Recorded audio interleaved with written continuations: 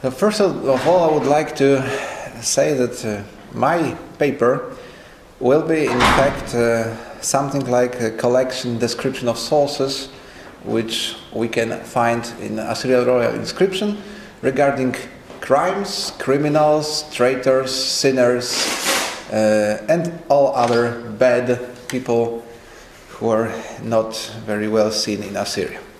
So, first of all, we should look to the role of the king and the role of the Assyrian Empire as a state and a person who can keep criminals away. And there we have uh, one inscription of Assyrian king Ashurnasirapli. At uh, that time, I erected two lofty lions at the right and left of the gate of Kar Shalmaneser, my lordly city, and I named them as follows. The name of the first is the lion who probably keeps away, angry demon, unrevealed attack, who overwhelms the insubmissive, who brings success. The name of the second, which stands before the gate, is who charges through battle, who flattens the enemy land, who expels criminals, and brings in good people. So everybody who could see such a winged lion at the front of a king's palace or at the front of a city gate could think twice whether I'm a criminal or I'm a good person. Should I enter or maybe should I keep away from the city and from the king's palace? Of course, also the royal role was keep the laws of a country and keep all the criminals and traitors away. And uh, we can let one of the Assyrian kings, Esarhaddon, speak to us. And uh, if he could speak, uh, he would say, When the god Ashur, the great Lord, wanted to reveal the glorious might of my deeds to the people, he made my kingship the most glorious and made my name greatest of the kings of the four quarters, made my hands carry a terrible staff to strike the enemy, and empowered me to loot and plunder any land that had committed sin, crime, or negligence against the god Ashur. What's the interesting thing? It should be like this uh, the Assyrian king keeps the laws of Ashur. But usually we don't find a text like they sinned against Ashur. Usually they rebelled against me, they crimed against me and did bad things against me as a king of Assyria and not against Ashur. In fact, Esarhaddon usually used this uh, expression that there was sinners against Ashur, but other kings usually used sinners against me, so sinners against the king of Assyria. There is also one text uh, where we can see a divine involvement in the punishing of traitors. This is also from Esarhaddon's times. We have a very short and simple text. At that time, Nabu-Zer-Kitti-Lishir, son of Marduk-Apla-Iddina, governor of the sea land, that means Babylonia, who did not keep his treaty nor remember the agreement of Assyria, forgot the good relations of my father. I heard of his evil deeds while in Nineveh. My heart became angry, and my liver was inflamed. I sent my officials, the governors on the border of his land, against him. Furthermore, he, Nabu-Zer-Kitti-Lishir, the rebel, and the traitor, heard of the approach of my army and fled like a fox to the land Elam. And because of the oath of the great gods, which he had transgressed, because Ashur, Sin, Shamash, Baal, and Nabu imposed a grievous punishment on him, and they, so the gods, killed him with a sword in the midst of the land Elam.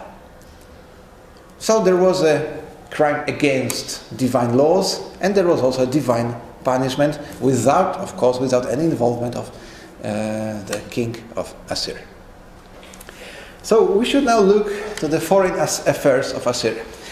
Assyria, from the royal inscriptions, looks like a very poor country surrounded by criminals, evil people, traitors, and all kinds of barbarian hordes who tried not to keep the laws of civilized world. So we can see at the map that in the very center of a civilized world we have Assyria, and Assyria is surrounded by traitors, surrounded on the north, surrounded on the east and on the west, but not on the southwest because there was desert, so no traitors could be named in any royal inscriptions. So we have just traitors and desert without any traitors. We can see also some scheme of uh, Assyrian deeds against rebellions or against traitors, because if we had a rebellion anywhere in the country, there must be, of course, a war as a punishment, and this war must be ended with Assyrian victory. There is no other possibility. After Assyrian victory, usually there is an oath taken by the king of uh, this rebellious country and tribute imposed by Assyrian king uh, to this country. Then usually we have a second rebellion. Sometimes this is successor's rebellion, sometimes this is just rebellion of another king of this country. And their punishment is much worse because we have again war. Uh, this war is again ended with Assyrian victory, but Assyrian victory is ended with the conquest of this country, revenge and devastation of the whole country, many victims and a lot of booty taken from this country. Usually, this territory is incorporated to Assyria, and there is also established an Assyrian governor. And such uh, example of the rebellion we have in the land Hanigalbat. A text from the times of Adad Nirari I, uh, conventional chronology, 14th century BC. When Shattuara, king of the land Hanigalbat, rebelled against me and committed hostilities, I seized him and brought him to my city Ashur. I made him take an oath and then allowed him to return to his land. So we have the king Shattuara with his rebellion. After the rebellion, there is an expedition, a Assyrian expedition against Shattuara. Shattuara is seized, taken to Ashur. Uh, made to take an oath, and then he can return to his country. But then we have a second rebellion in the land of Hanigalbat, and this was rebellion of Wasashatta, of Vazashatta, son of Shattuara. So, excuse me, after his death, his son revolted. So I conquered, burned, and destroyed the city Irridu and sowed salty plants over it. So nobody should ever inhabit the same place after the second rebellion. And bound I brought them and his possessions to my city, Ashur. There is no mention about the death of Wasashatta, and we don't know if there is no mention of his death, or maybe he was just spared, but the king should not write down that the rebellion wasn't killed by him.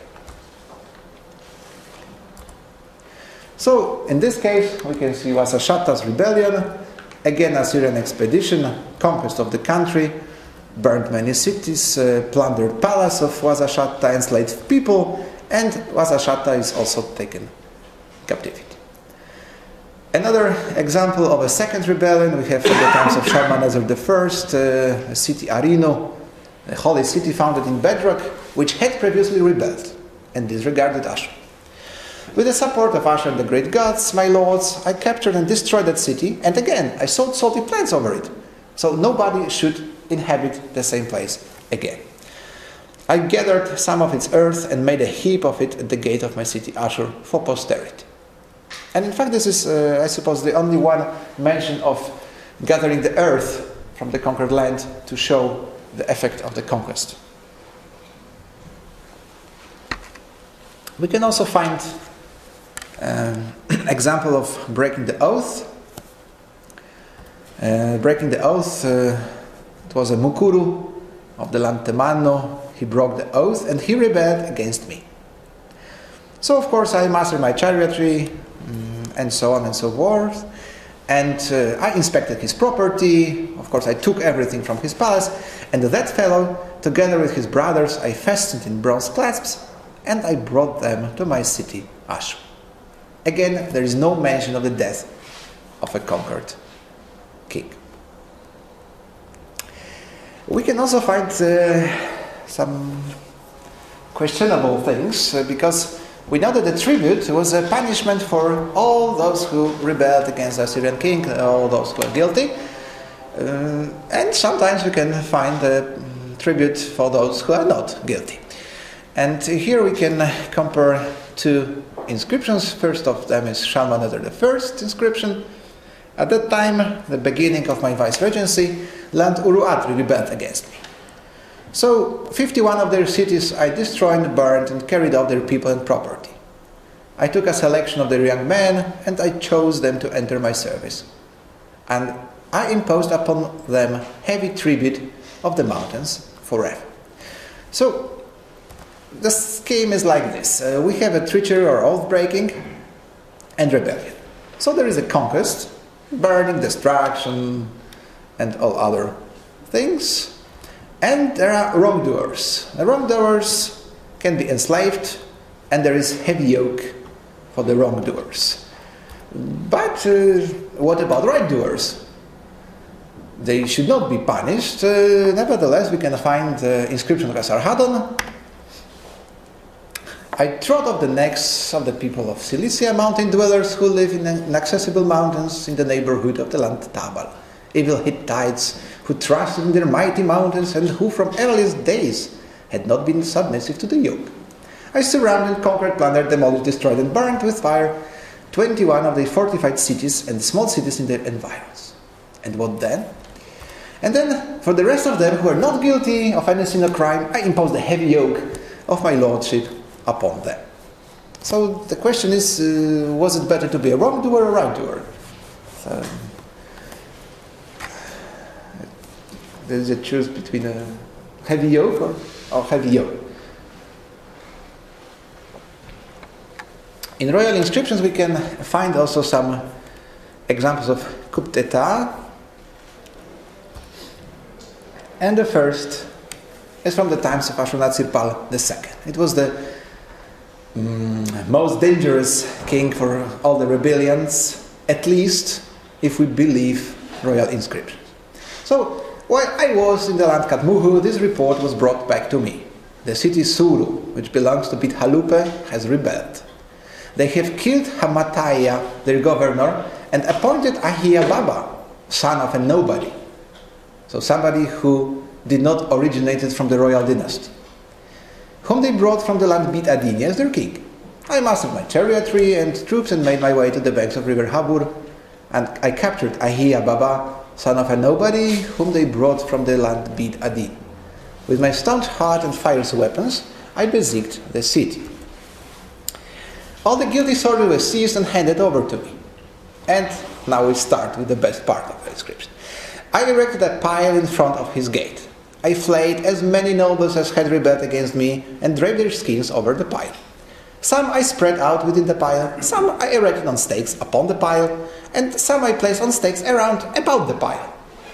I flayed many right through my land and draped their skins over the walls. I slashed the flesh of the eunuchs and of the royal eunuchs who were guilty. I brought Ahia Baba to Nineveh, flayed him, and draped his skin over the wall of Nineveh. Now, here, as you can see, this a coup d'etat of one of small countries who were not mm, free of Assyrian domination.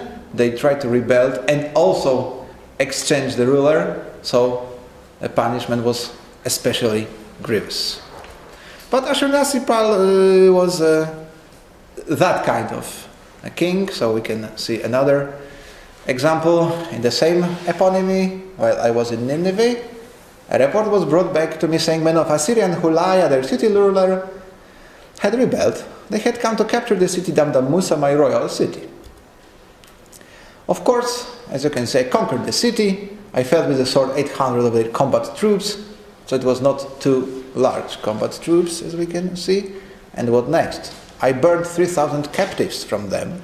I did not leave one of them alive as a hostage. I captured Hulaya, their city ruler, I burned their adolescent boys and girls. I flayed Hulaya, their city ruler, and draped his skin over the wall of the city Damdamusa. And then, as usual, I razed, destroyed, and burned the city. There is also one example of holding up to ridicule as a punishment against traitors and rebellions. This is a punishment for Arab people, as you can see in the Esarhaddon's inscription, later Wabu, to exercise kingship, incited all of the Arabs to rebel against the Yatta. I, Esarhaddon, king of Assyria, king of the four quarters, who loves loyalty and abhors treachery, sent my battle troops to the aid of Yatta. And they trampled all of the Arabs, threw Wabu, together with the soldiers who were with him, into fetters, and brought them to me. I placed them in neck stocks and tied them to the side of my gate. We can find sometimes uh, similar punishment uh, as enemies can be tied to the side of the gate together with a bear or with a dog or even with a swine. So it is a punishment for holding up to ridicule criminals or enemies or traitors. Nevertheless, we can find some acts of grace among our texts. First of such texts, at the times of Sennacherib and his inscription, I approached the city Ekron and I killed the governors and nobles who had committed crimes and hung their corpses on towers around the city. This is not the act of grace.